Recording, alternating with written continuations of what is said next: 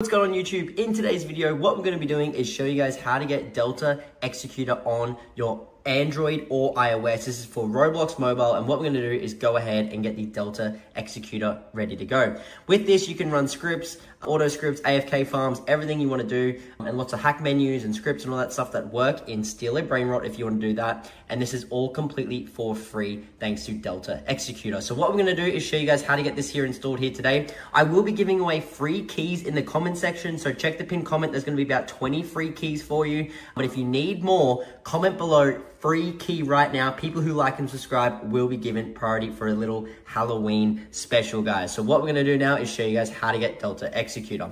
So exit out of Delta Executor and what you wanna do is come to Safari or Google Chrome and you're gonna want to visit this website right here. It's called www.deltainstaller.com.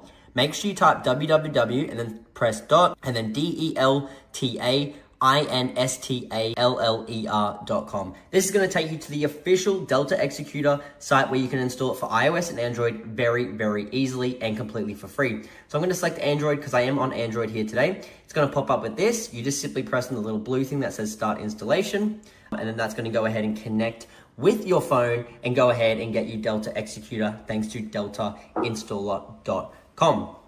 Now this will take about one minute to install. You just want to simply go ahead and actually wait for this to finish. Shouldn't take too long at all. And once you guys have basically gone ahead and completed this, like I said, it should take about a minute.